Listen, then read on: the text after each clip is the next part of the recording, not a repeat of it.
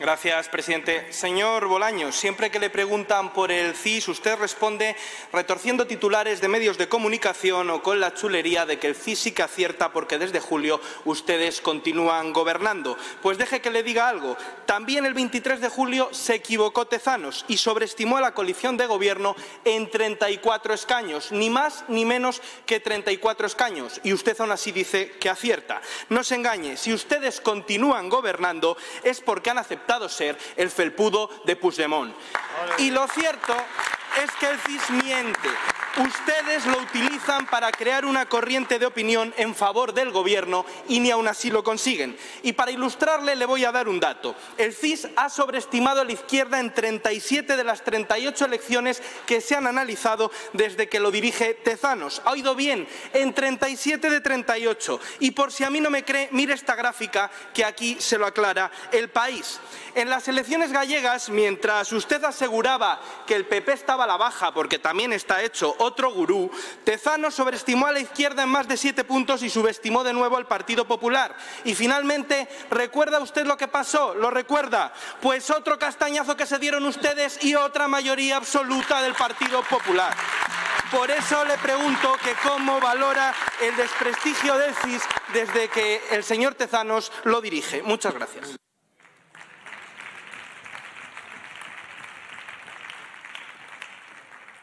Señor ministro de Presidencia, tiene la palabra. Muchas gracias, señor presidente. Eh, no se sulfure. Eh, el CIS hace encuestas, hace su trabajo, son profesionales, rigurosos, que hacen sus estimaciones. Y mire, a mí me parece que se desprestigia mucho más quien se ríe de los sondeos del CIS y luego acaba en la oposición, porque es lo que les ha pasado a usted en los dos últimos procesos de las elecciones generales.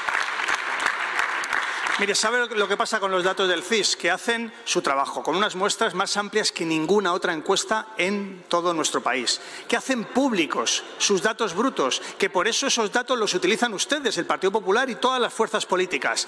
Y, por tanto, respete usted a los profesionales, a los trabajadores del CIS, porque hacen su trabajo con rigor y son verdaderamente personas que lo que hacen es, con, desde una entidad pública, simplemente suministrar datos para que ustedes y nosotros podamos hacer política con datos de cuál es el sentimiento social sobre distintas medidas políticas y, y procesos electorales. Por tanto, señoría, le pido que simplemente que esa transparencia que usted pide al CIS, pues también le aplique a las encuestas que a ustedes les gustan tanto.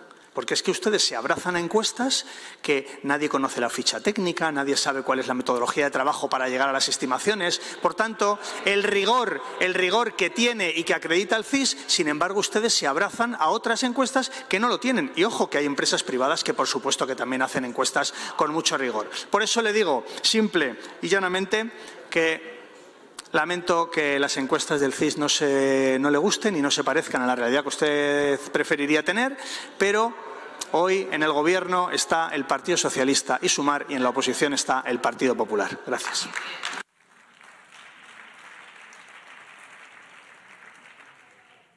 Alonso tiene la palabra. Señor Bolaños, el respeto a los trabajadores del CIS se lo pierden ustedes cada vez que utilizan las instituciones como si fueran su cortijo particular.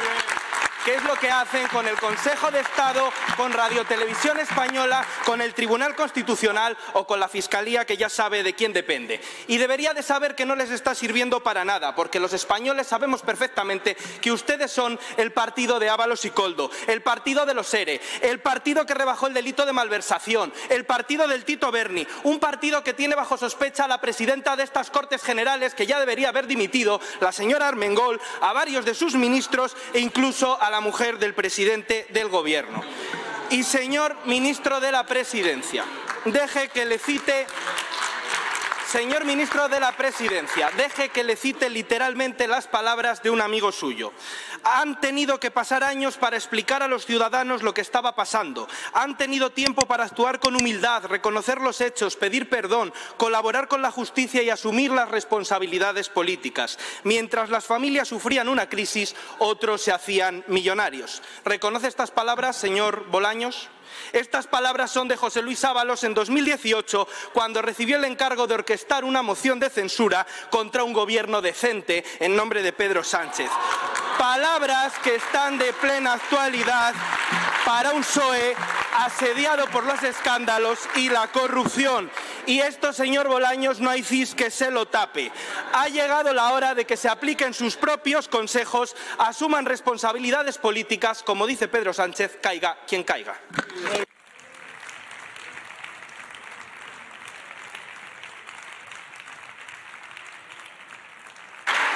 Señor ministro, tiene la palabra.